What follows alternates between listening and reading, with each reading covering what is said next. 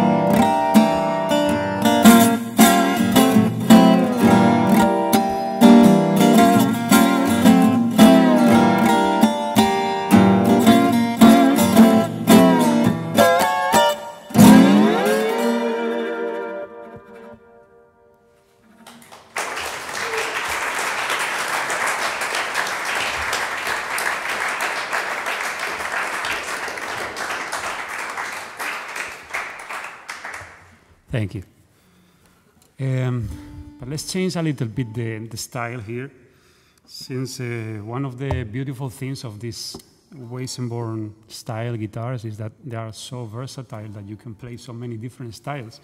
Um, for instance, the next, the next song is, is something like I have composed. Like, it's based on one of the famous songs uh, by a bluesman called Robert Johnson. And I call this blues the RJ blues, like Robert Johnson blues. And I just got inspired on the, on the, on the legend of this man, which was a, a man from the States who wanted to play the guitar and play the blues. And it is said that he sold his soul to the devil in order to, to play the guitar. And we don't know if it's true, but mm, the truth is that it worked because he became one of the most well known blues players, even until today. So, this is a piece dedicated to this man, Robert Johnson.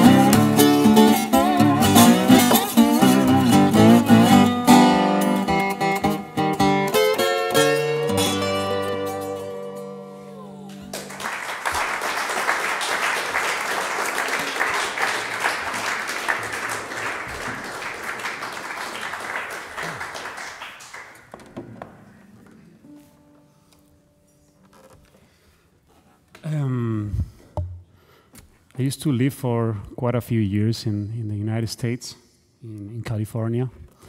And I get the very much welcome in an African American family who were very well related to the world of jazz and blues. And, and I was very lucky because, in a way, it was like having like a, a godfather in, in this kind of world, in this kind of music.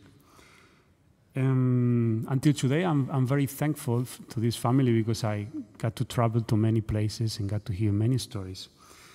In one of my journeys, uh, we went to Missouri, and I got really, I fell in love with, with the prairies there and the nature.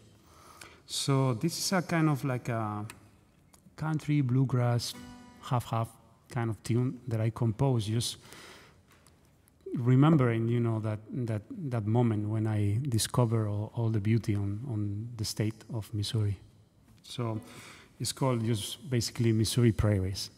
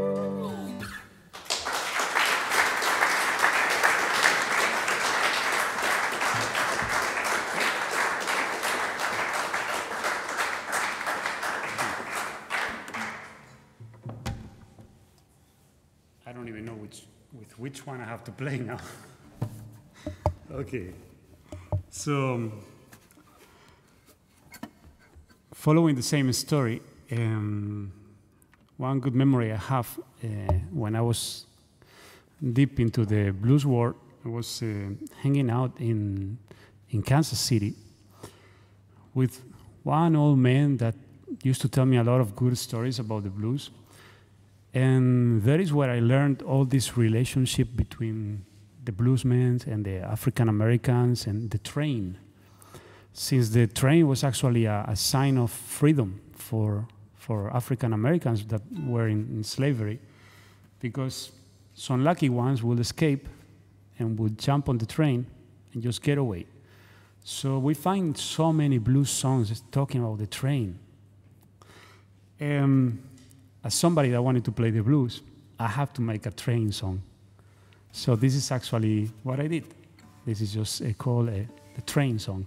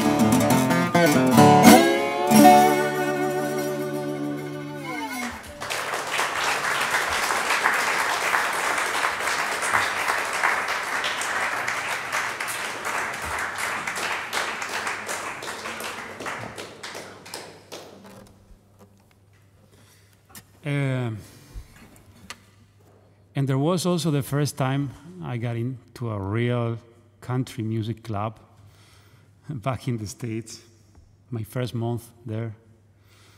And it was quite an experience. I mean, for somebody that is not from there and that really likes that, that kind of music, etc., was, was quite nice just to see everybody doing the, the dance, the typical country dance, and, and all the live music sounding. And inspired by that, uh, I, I wrote the next piece, which is like a bluegrass style of piece. And I just called it like country dance, for that matter. So here's a little sample of it.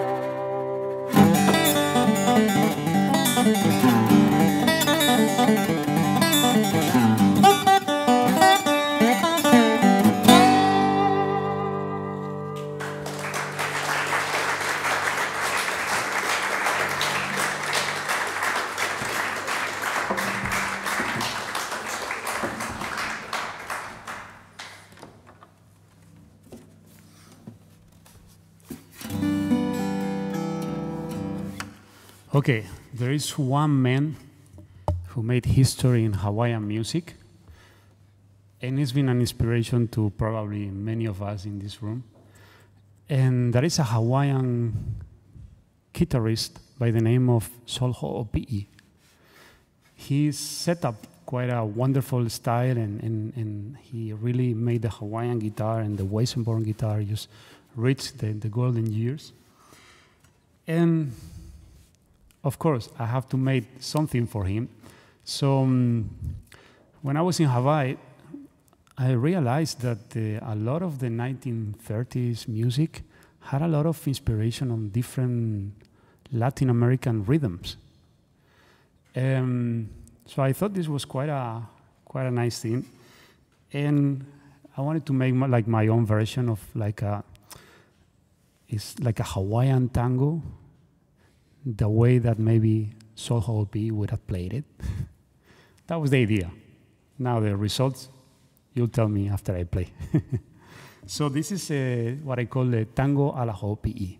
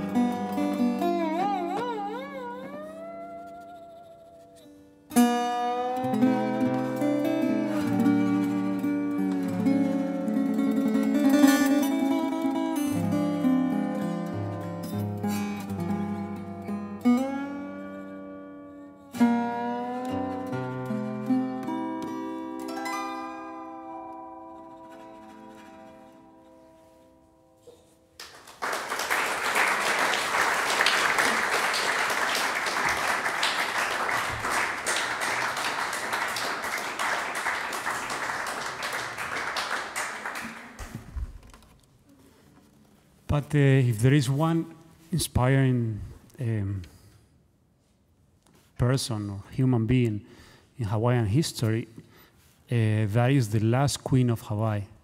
Her name was Liliuokalani.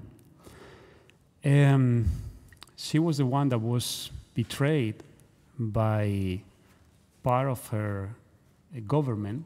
She had like a mixed government. She had Hawaiians, but she also had some Americans and British consulars. And it was this that uh, betrayed her to take over Hawaii. And she spent the last of her years uh, in house arrest. So the only thing she could do there is just play music and compose songs. So she actually composed some of the most important and most loved songs in, in, in Hawaii, including the famous Aloha Oe, which is the anthem of Hawaii. And in this way, she died, just in her room, not being able to see how her people were free and how they lost their own country. Um, so the next piece is something I, I composed uh, in memory of, of this wonderful woman, which was the last queen of Hawaii, Queen Liliuokalani.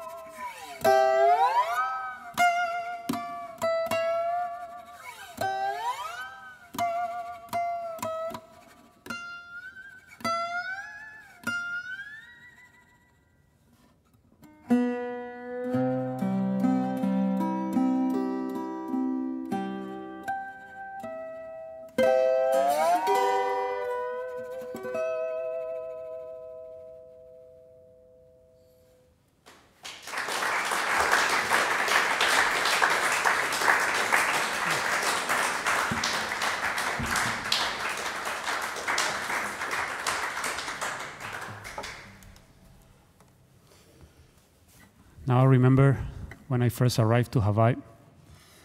Um, I didn't have much, and I just got there.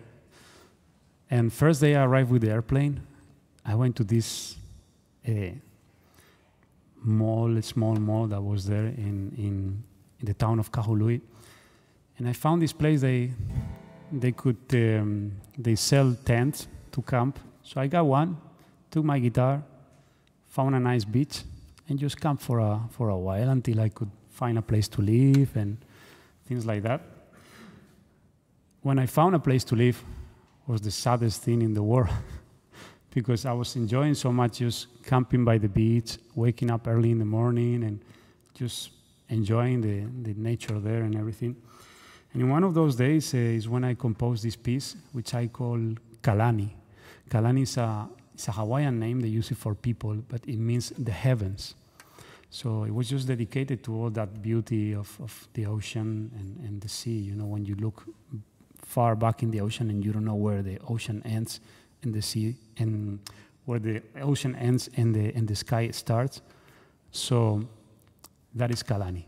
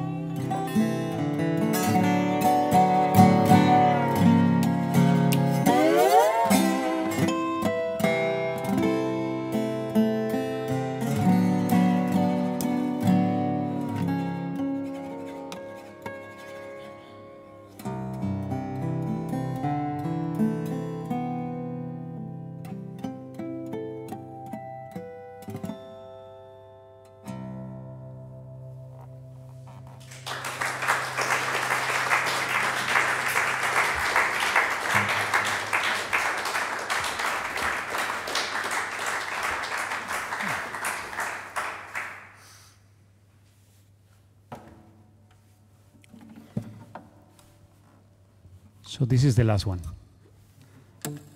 And before I go, I want to give some thanks. Okay. To all of you for coming here, to all of you for enjoying and liking so much this style of music and these types of guitars because they are not so common and and it's wonderful to see more and more people learning this instrument and these styles of music. And my thanks especially, well, first I should say to our friend Sebastian, which is around here, because he's responsible that I'm here today because he was the first one to contact me and, and put me in touch with Michael. And of course, to Michael for organizing all these things. I mean, he's not only a wonderful guitar maker, as you can tell already, but he also is, is an amazing person that is putting all these music lovers together and, and, and bringing them here to, to learn more about something they like and to share all these all this passion, you know, between all of us. So um, I will go with this one. This is a Hawaiian ragtime and it's called Wiki Wiki, which in Hawaiian means like quick, quick. Okay. Um, that's it. So, aloha to everybody, and I hope you enjoy it.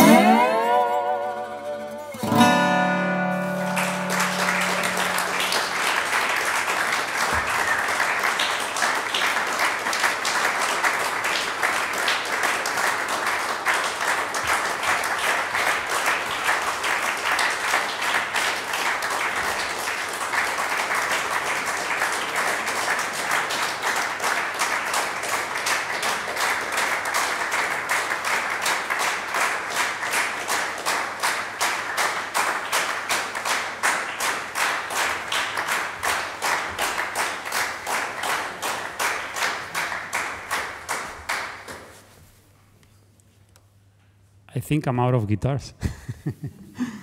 okay, what can I do? Let's see. Um, hmm. Let's try mm, this one.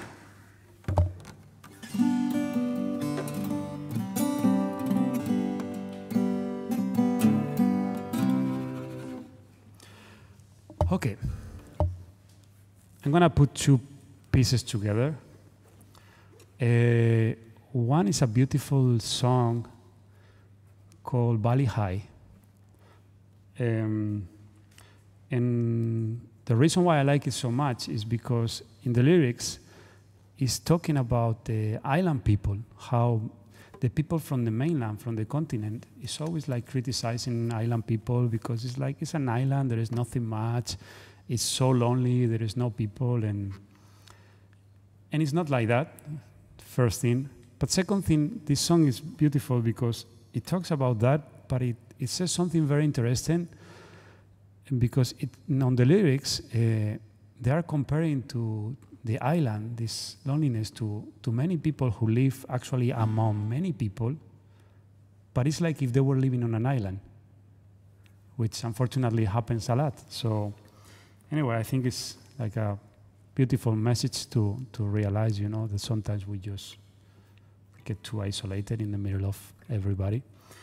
And the second one is a very special song because uh, it's Aloha Oe. Mm, I mentioned this song before. It was written by Queen Liliuokalani. Um, it's a song that he composed when he was in this house arrest on the last years of her life. And, and Aloha Oe was like a greeting. In this case, is is is a goodbye kind of song.